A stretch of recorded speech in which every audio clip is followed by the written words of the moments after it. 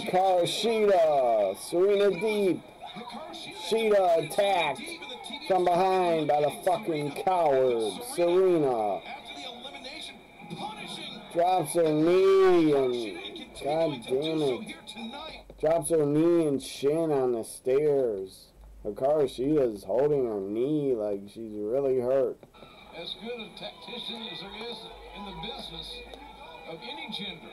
And she's I know Serena's a veteran, but in my opinion, she should not be wrestling on TV. She's still a great wrestler, still a great worker, but she should let other women have the spotlight. He made it two feet down the ramp. yeah, I'm not uh, Serena should just be a agent, producer, or trainer in AEW. In my opinion, she should not be a full-time wrestler. Hikaru Her time is come and gone. This is uh, Shida's time. She better win here. Hikaru Shida really selling it. she wants to wrestle, and the ref rings the bell. Here we go. Serena, time. Serena. Serena, I almost called her. Serena stomping on the knee. understatement of the night.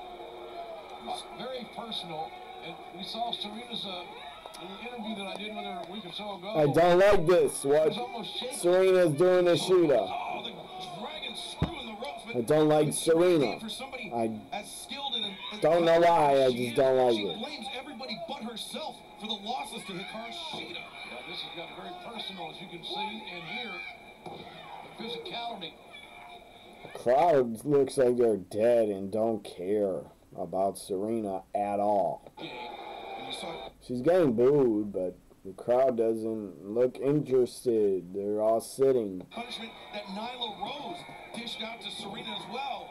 Or excuse me, to Shida as well. But Shida just, as you said, JR, just on one leg, cannot even mount any sort of offense. I don't think she just got to her feet since she. since she- Poor Shida, come on, Shida.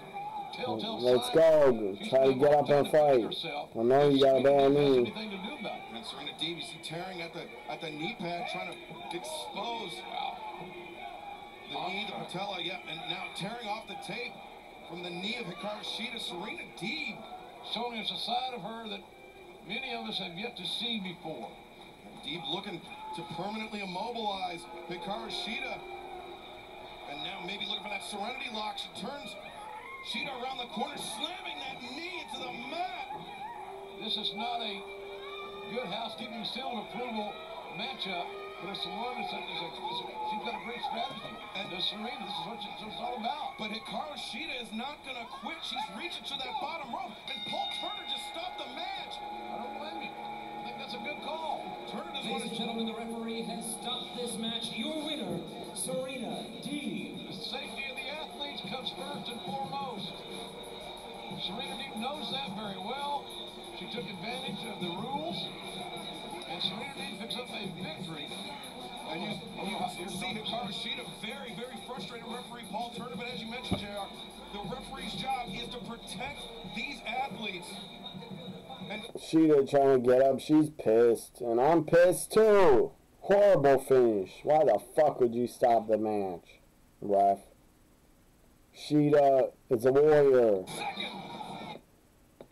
Oh, Serena's dumbass swinging a cane like a drunken ant at a bar mitzvah. Ball control in a, a very emotional place right now in her mind. It was Serena, god damn, she's skinny. What the hell? Where'd all her thickness go? I don't know.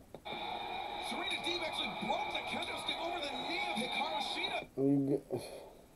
You g- Serena's out of control. She should be suspended.